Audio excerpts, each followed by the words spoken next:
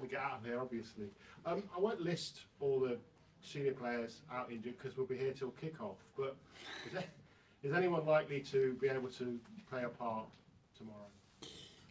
Yeah, as you mentioned, we have a few, uh, a few still in contention. We need to give them 24 more hours um, and to give them a chance to be involved in the game, but we won't know anything until tomorrow. Is there anyone definitely not going to be available? I know, the long, not the long-term one. Timber is for sure not. Thomas Partey is for sure out, um, and probably Emile is out, and uh, there might be a few more. Can I ask you about Saka specifically, though? Because Yeah. last time he, he was called up for England, went and was sent back. Is something similar likely to happen this time?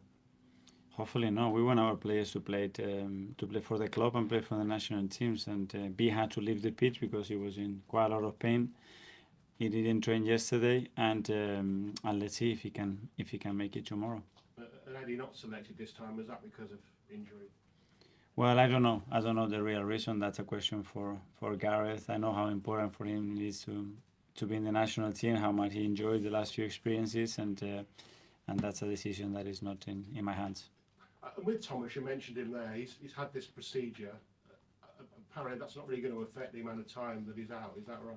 No, hopefully not, and he's progressing really well. But um, but yeah, it was a significant injury, and um, I said that hopefully it's going to be weeks and not months, and he's working towards that, and uh, he needs support, and uh, and hopefully the injury will heal in the right way, and uh, we'll have him back because he's a he's a big player for us. And then if he is back on schedule, this will then, I guess, go off for the African Cup of Nations, so he could be without him for most of the season. Well, that's part number two. Let's get him fit and, and healthy as quick as possible, and and playing a big part in the team, uh, which I think that um, that he can do.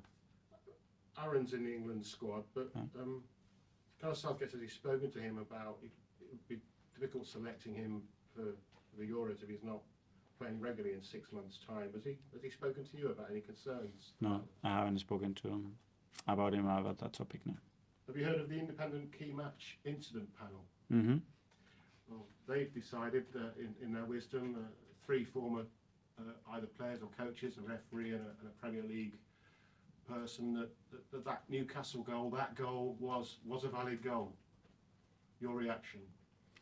I think I, we had a lot of reactions after that match. It's time to move forward to focus on, on Burnley and, and talk about uh, tomorrow's game. Would you like to know who these people are? Sorry? Would you like to know who these people are who made the decision? I think at some point we will know, so yeah. When, when you're not working day in, day out again in the future, would you like to join this panel? It's a possibility. Everything is a possibility in this life. and just Vincent Kompany, who you know very well, obviously Yeah. you're facing Burnley, which is what we're here to talk about after all, uh, tomorrow. Uh, three years ago, I think, as coach and captain.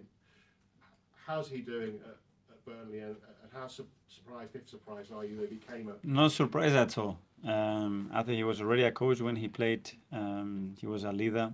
He was someone very intelligent that that could um, navigate in very different scenarios really well. Um, in dressing room, above, he understood the game really well. Spoke several languages, and and you could tell straight away that he was going to be a, a top coach. And obviously, had um, a very strong career already. What they did last year, it was incredible, especially the way they did it. And uh, and then yeah, in this Premier League, uh, we all have difficulties, we all have good moments, and uh, I'm really happy to see doing what he's doing. We'll go to Jake from the Premier League. Hi. Are you surprised at how tough maybe they have found it this season, Burnley?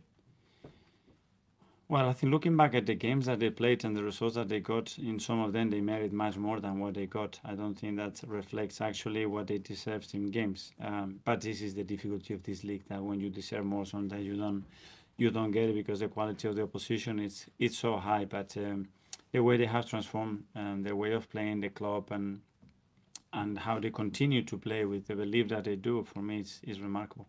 Obviously, you were the, the, the assistant and he was still playing at Manchester City, but did you ever, the, the two of you, discuss being managers later on?